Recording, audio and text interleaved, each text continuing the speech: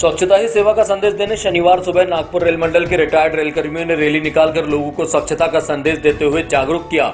Rail मुख्यालय के निर्देश पर शुरू हुए स्वच्छता पखवाड़ा आमला रेलवे जंक्शन से शुरू किया गया, जिसमें रेल कर्मियों ने महात्मा गांधी बनकर चलती ट्रेन में लोगों को स्वच्छता के प्रति जागरूक किया और बैतुल स्टेशन पहुँचे। बैतुल से हमारे संवाददाता अमित पवार ने बताया कि आमला रेलवे जंक्शन से शुरू हुई स्वच्छता रैली में नागपुर रेल मंडल के सैकड़ों रिटायर्ड रेल कर्मियों ने रैली निकाली और नागपुर से बैतूल आने वाली दक्षिण एक्सप्रेस में यात्रियों को स्वच्छता का संदेश देते हुए बैतूल रेलवे स्टेशन पहुँचे, जहाँ पूरे स्टेशन परिसर में साफ़ सफ़ाई की गई और यात्रियों को ट्रेन को साफ़ एवं स्वच्छ बनाए रखने का संदेश भी दिया।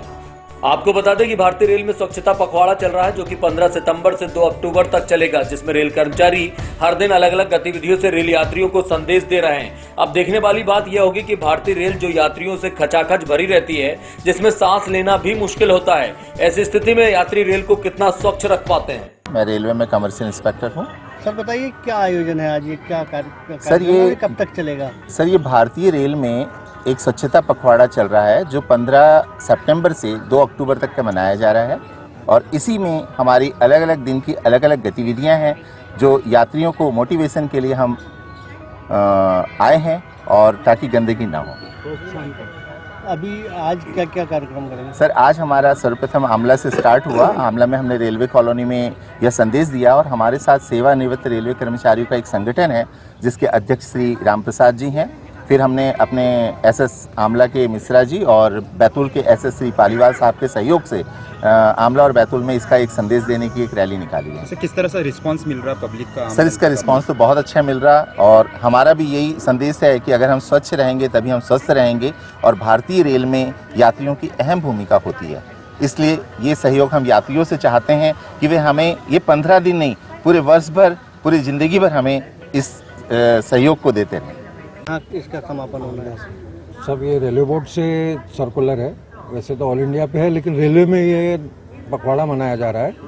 और उसी स्वरूप में नागपुर डिवीज़न से जो हमारे रिटायर्ड फेडरेशन है उसके थ्रू हमने ये कार्यक्रम आमला से शुरू किया। और अभी ट्वेंटी वन डाउन से बैतूल पहुँचे हैं। और क्या, अभी क्या, क्या अभियान है सर आपका? सर ये स्वच्छता अभियान है जो पूरे भारतवर्ष में चलाया जा रहा है। अभी कुछ दिन पहले अठारह तारीख को रेलवे बोर्ड के चेयरमैन और जो ऑफिशियल्स हैं, उन्होंने भी दिल्ली में बहुत अच्छा प्रोग्राम किया। और ये संदेश लेके पूरा इंडिया में रेलवे स्वच्छता का एक संदेश देना चाह रही है कि हम स्वच्छ रहेंगे, दुनिया स्वच्छ रहेगी। अगर हम ही स्वच्छ नहीं रहेंगे तो हम दूसरों को कुछ ये नहीं कर सकते। तो उसी कार्यक्रम को लेके A I R R F जो रिटायर्ड फेडरेशन है, उसमें हमारे रिटायर्ड लोग भी हैं, पूरे के पूरे रिटायर्ड लोग हैं। वो ये संदेश देने निकले हैं जो साठ साल से अस्सी बयासी चौरासी चौरानवे साल तक के, के लोग हैं साथ में जो ये संदेश देने के लिए आगे आए हैं। अभी कहाँ कहाँ दिया सर? कितने स्टेशनों पे? आमला में हुआ है। आमला के बाद फिर ये चालू गाड़ी में गाड़ी में लोगों को समझाते हुए कौन कौन सी ट्रेनों में दिया सर? अभी तो ट्वेंटी वन डाउन में दिया है पहला। और अभी यहाँ से जाने के बाद में दक- दक्षिण में। दिया है और जाने के टाइम में अभी कौन सी गाड़ी मिलेगी वो पता नहीं। वो देंगे। अभी बैतूल आए बैतूल में अभी यहाँ गांधी में और रेलवे कॉलोनी में भी आयोजन किया गया।